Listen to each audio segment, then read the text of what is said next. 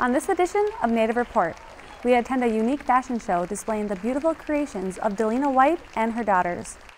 Learn about the Mdewakanton Life program, whose purpose is to create greater awareness, availability, and knowledge in CPR and automatic external defibrillators. And we meet the very talented multimedia artist Jonathan Thunder and learn about the personal themes that influence his art.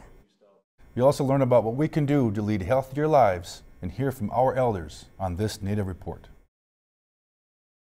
Production of Native Report is made possible by grants from the Shakopee Mdewakanton Sioux Community, the Blandin Foundation, and the Duluth Superior Area Community Foundation.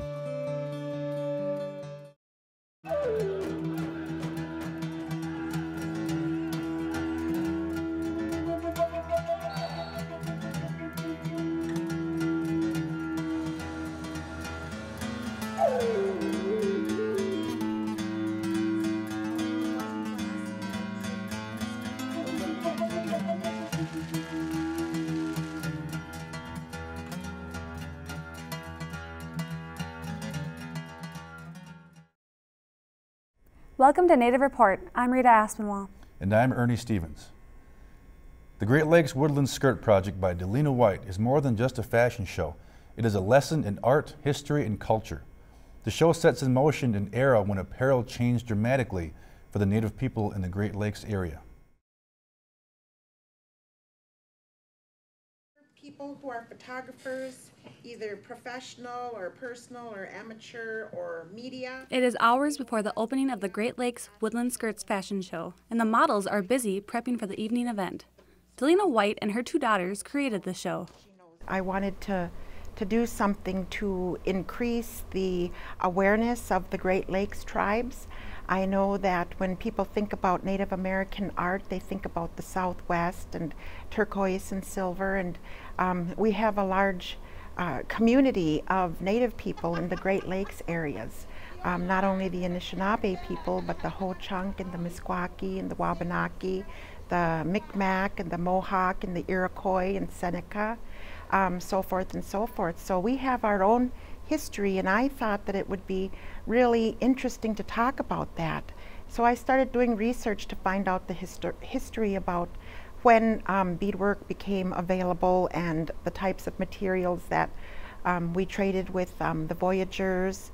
And so the materials became available to us at different times depending upon who brought the, the, the, beads and who brought the silk ribbons and the satins and the cottons and all that. And, and we use them in ways that nobody else has ever used them. I think that this is a really phenomenal project. And when my mother approached me and asked my sister and I if we would want to partake in this, this big endeavor, we were really excited. At a young age, I started to bead and sew, and my mother and grandmother, grandmothers have always been artists. And I picked up the trade right away, and, and I always wanted to create and, and do things. So that's been with me to this day. I'm very grateful for the way that my mother raised me. She always told me that if we go do beadwork instead of going hang out with friends all the time, that we would be beautiful in the summer, and we really wanted that. so that's what we just kept telling ourselves that, um, you know, once we get this piece done, we can move on to the next, and when the summer comes, we can just bloom like the flowers. As showtime comes around, it is standing room only at the Tweed Museum on the University of Minnesota Duluth campus. This is more than just a fashion show, it is a lesson in the history and culture of the Great Lakes region. We do a historical presentation, so I've done a lot of research and I brought with me tonight uh, photographs, historical photographs of um, Native women, native woodland women um, of various tribes along the Great Lakes areas. And with them, um, the historical photos signify a certain uh, era in time, and with them they are they show examples of materials, um, different designs, um, different um, stitch work, skill level, all the various fashions. And what's really interesting is that there's a common thread between all of them, and that's because um, we all live in the same indigenous area of the Great Lakes area, so we share certain designs like the woodland floral. We share the fabrics and the fashion according to the different eras in time and the different materials that became available to us that seems to be really a positive thing for our program that people are really liking that historical perspective to it. Um, I will show an image at the same time that the model comes out and then I tie that image into a particular facet about the skirt or the jewelry and then people can relate that image to the beaded accessories and the skirts that the models are wearing. I am so indebted to my models. Um, I just uh, love them dearly. They are friends and relatives of ours, and we hand chose them because of their personalities and their characters and the way that they live their lives. They're wonderful women. They're mothers and grandmothers and aunties and daughters, and um, their wonderful spirit just shines through. And I tell them that when they wear this, the skirts, they make the skirts come alive. They put their spirits into those skirts, and without them, the skirts are just fabric. The show was a true family effort, and as the evening comes to a close, the three women reflect on their efforts. It's been awesome because I feel like uh, they're experts in what they do, and I am lucky to be able to hear their opinions on, on my work as well. We're all very strong, opinionated um, women. And so we have our reasons for why we want to do things a certain way. And so when when we um, try to give you know advice to each other sometimes we just have to expect that they're not going to listen we've all worked together on on all of the projects. Um, my mother came to me about the blue dress and I, I like to think of it as kind of a mermaid dress and she gave me the ideas about how she envisioned it. Of course, I envisioned it differently. And when I started cutting the pattern to make it, I'm like, okay, I get, I get what she means now. I know what she wants. And so um, we all put different skills into each of the projects. Um, I feel that we're kind of talented in different areas of our sewing. So um, everyone had their bits and pieces and we'd all chime in on each other's work and sometimes we'd be like, oh yeah, that sounds good, I'm gonna try it like that. It's been a, a learning experience. It's been fun, uh, it's been exciting, um, it's been very emotional, it's been um, volatile, and um, we've, we've shared a lot of um, inspiration, a lot of ideas. Uh, we work together very good. Um, I've got my dad who works close to, or who lives um, near the girls. So at midnight, if I need a red ribbon, I can call him and we'll meet like 30 miles. Um, I'll go 30 miles, he'll go 30 miles, and he'll give me the ribbon that either lavender or sage has, and maybe I'll have a material that they need. So he's been um, really uh, integral as part of, you know, the behind the scenes of getting things done. And I think it's really important that us as a culture of uh, Native women, that we continue to wear our skirts and that we wear them all the time in the workplace and at school um, as a way to show our culture and not only at powwows and ceremonies and special occasions, but all the time.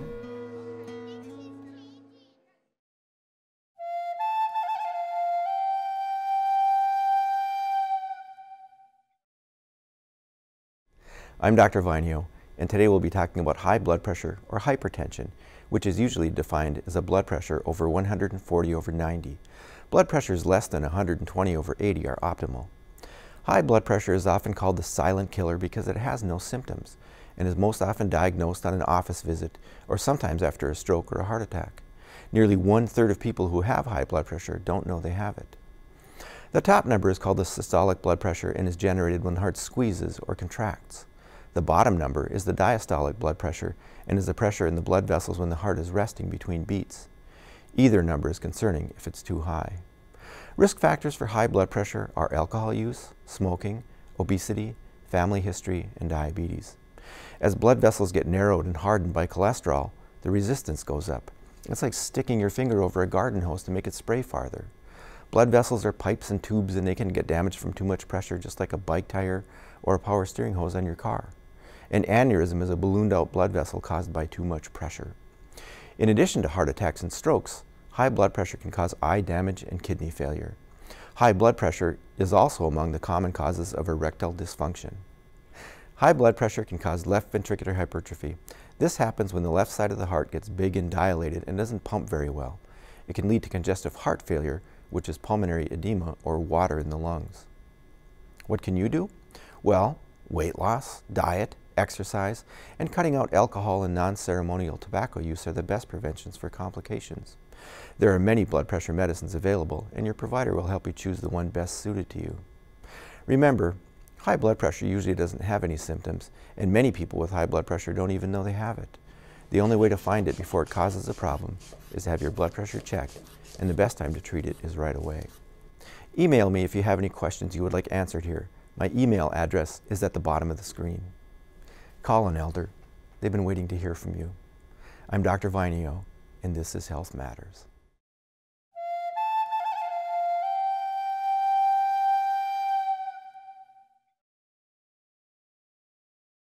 To date, thanks to Mdewakanton Public Safety, hundreds of automatic external defibrillators have been donated to civic organizations, governmental bodies, schools, and in hundreds of locations throughout the state of Minnesota.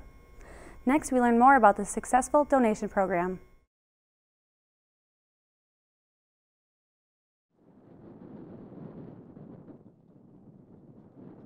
The call for emergency services may come at any time for Mdewakanton public safety personnel. For those suffering from cardiac arrest, time is key, and the use of an automated external defibrillator, or AED, can mean the difference between life and death. The faster that we can get that individual help, whether it's CPR and an AED, the better chance that they have to live. And for us, it is a response time. We're fortunate in our community, our average response time is two minutes and 34 seconds. From time of call to time our crews are, are with that patient.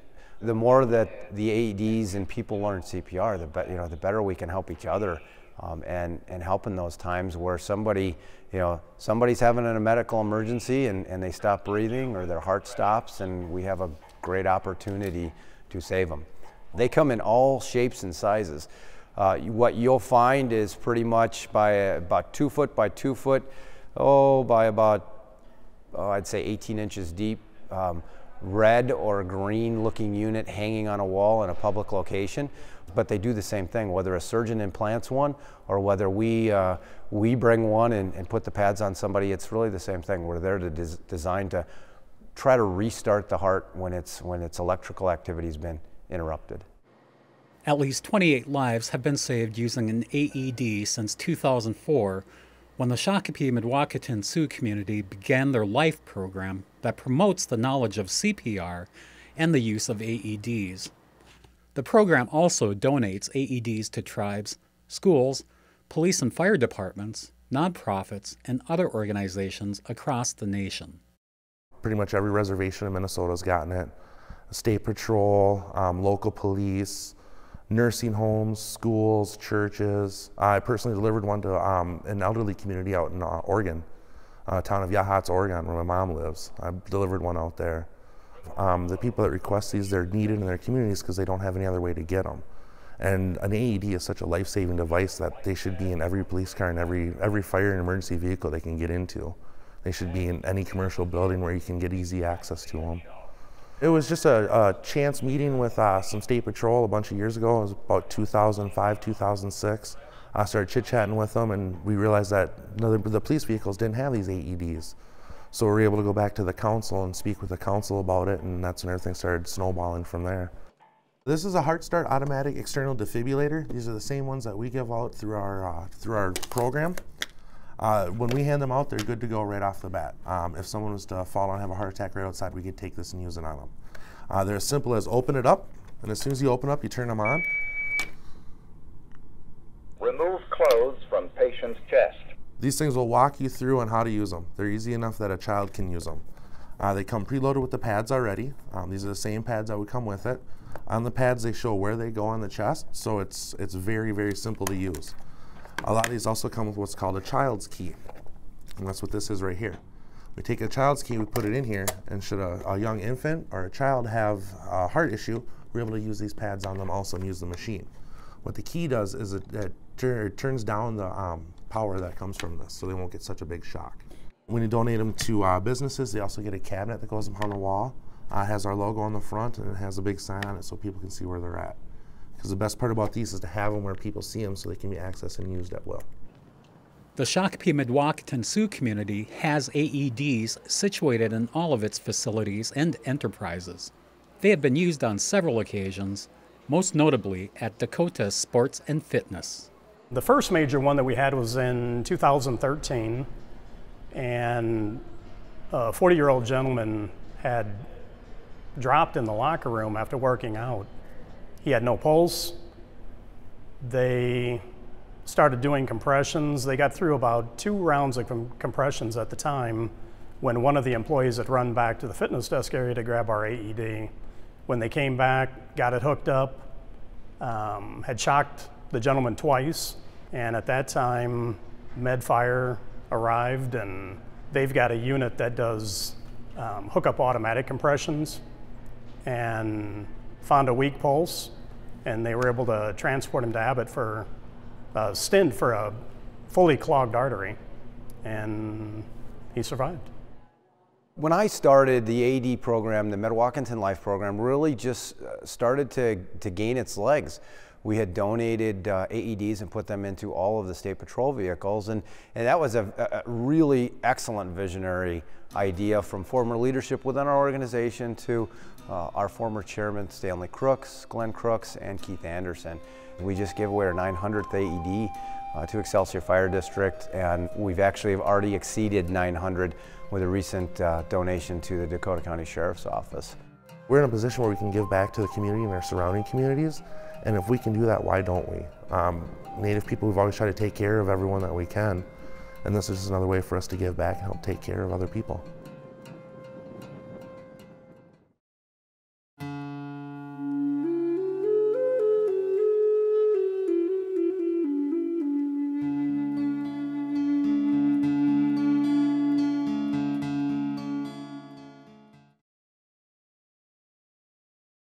I see a little one running around here. Uh, what, what, what do you hope for that two year old in your family? What do you hope for those young people here?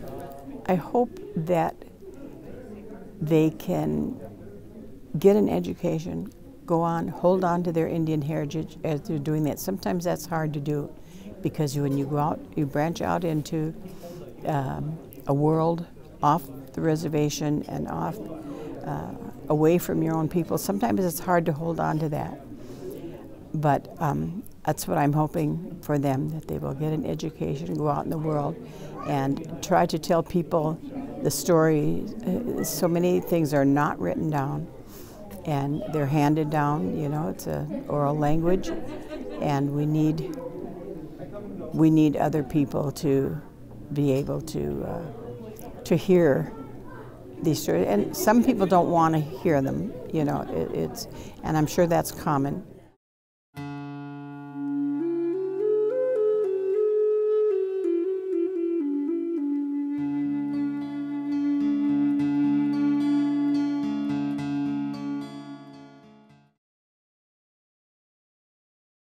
The artwork of Jonathan Thunder explores the personal themes of identity, life transitions, internal conflict, and self transformation.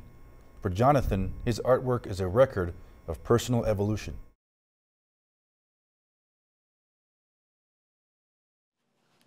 Nice thick texture.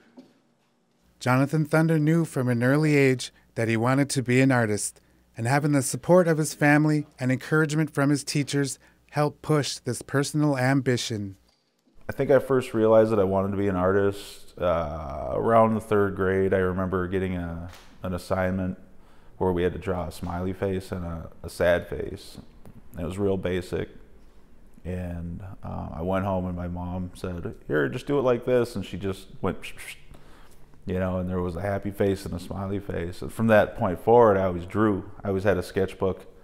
Around the seventh grade, um, I started working on paintings and uh, just took a different approach. I always wanted to do something other than this is probably co common with artists in art school, but they always want to do what's different than the rest of the classroom. We had a calligraphy lesson.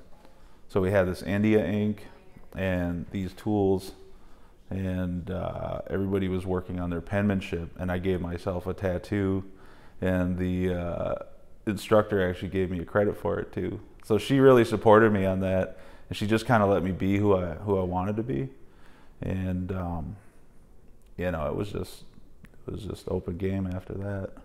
I was told that my uh, my grandma knew how to paint on my mom's side, or uh, draw rather, and my mom, she never really took to it, but I knew that when it, you know, when backed into a corner, she could draw something, and that's kind of where I got my influence from. I just remember being really inspired by seeing one of her drawings when I was in the third grade, and at that point, moving forward, I just said I want to be an artist. There are paintings that she can stand behind, and uh, I guess they probably, um, you know, don't raise as much concern for her. I've had uh, one show actually was in question as to whether it could be shown at the venue because there was guns and nudity in the, some of the paintings. And uh, those are the kind of paintings where, you know, she'll be like, there's something going on with you, boy, you know, and uh, the other stuff that's, you know, for me, it's like when I'm in a place of beauty and I just want to make something you know, that's very enlightening. Those are the paintings that she really gets behind. Some works are whimsical, some are literal, and some are social commentary. But no matter how controversial Jonathan's artwork may or may not be, all of it is thought provoking. For my painting life, a lot of my stuff is a little more personally structured, like it comes from, you know, someplace in the heart. I get hired to uh, tell our creation stories and uh, do stuff that carries the language. And um, that's been a blessing that I did not expect. I didn't see that coming in my career, you know, and I, I didn't even plan for it. Somewhere along the way, probably my fine art training, I got, I took a more artistic approach, and that led me into the creating uh, the short stories with uh, some filmmakers that can actually hire me to do those hey John, I'm looking at your easel and I see the, you know, the, the common end of the trail thing going, but I think you changed it up a bit. What do you, what do you got going here? Yeah, this is a piece that I'm creating for the uh, art show that's curated by Wendy Savage. It's about keeping tobacco sacred.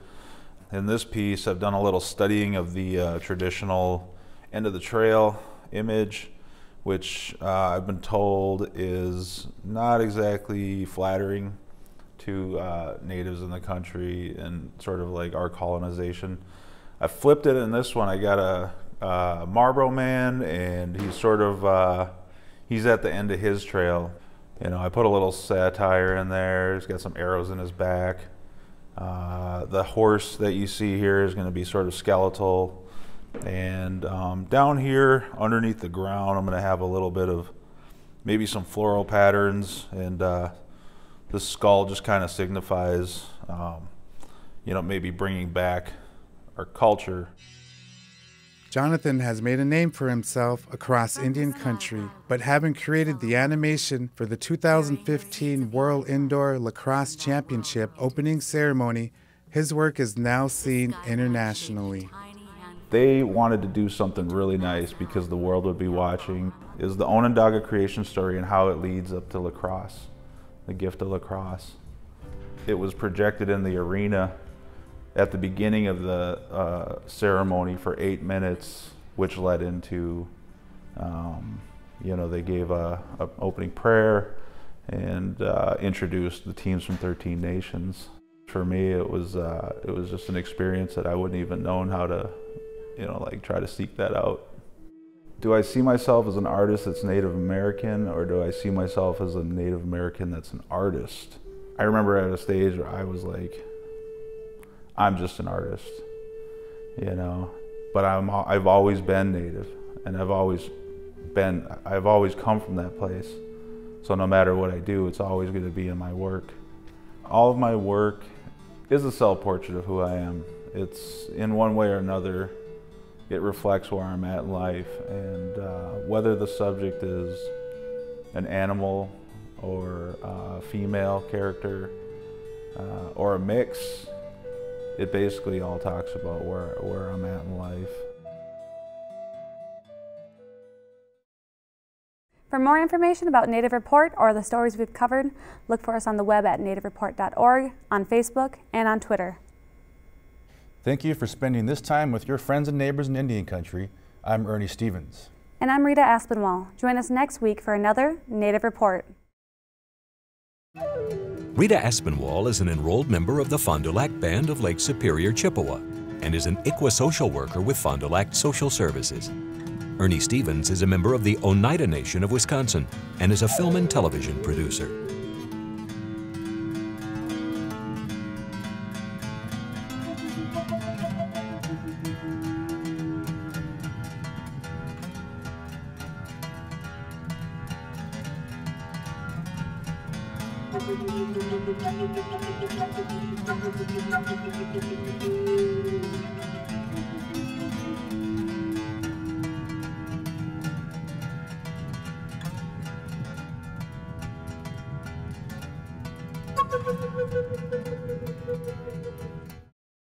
Production of Native Report is made possible by grants from the Shakopee Mdewakanton Sioux Community, the Blandin Foundation, and the Duluth Superior Area Community Foundation.